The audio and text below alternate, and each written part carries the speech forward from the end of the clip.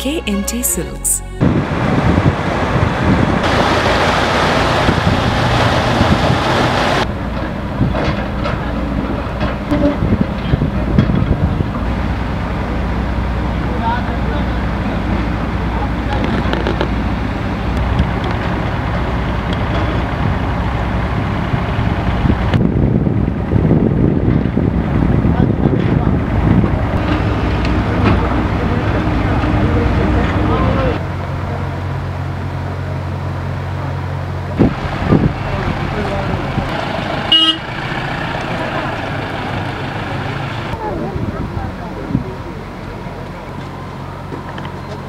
Ahora corren en el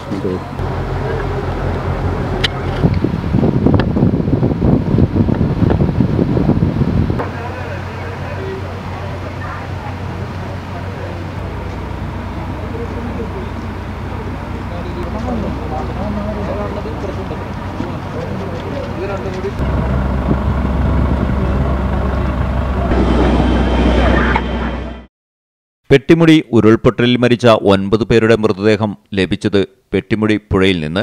ലയങ്ങൾ നിന്നിരുന്ന സ്ഥലത്തെ തിരച്ചിലിൽ മൃതദേഹങ്ങൾ കണ്ടെത്താൻ കഴിയാതെ വന്നതോടെ രണ്ടു ദിവസമായി തിരച്ചിൽ പെട്ടിമുടി പുഴയിലാണ്.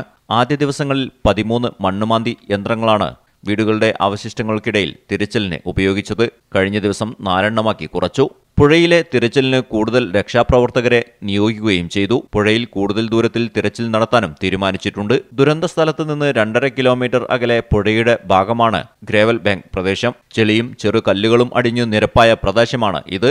രക്ഷാപ്രവർത്തകർ കയറുകെട്ടി ഇറങ്ങിയാണ് ഇവിടെ പരിശോധന നടത്തിയത്. അപകടത്തിൽപ്പെട്ടവരുടെ വസ്ത്രങ്ങളും വീടിന്റെ അവശിഷ്ടങ്ങളും ഈ ഭാഗത്തുനിന്ന് കിട്ടി. മൃതദേഹങ്ങളും ഗ്രേവൽ ബാങ്കിൽ തങ്ങി നിൽക്കുകയായിരുന്നു. News bureau Idukki.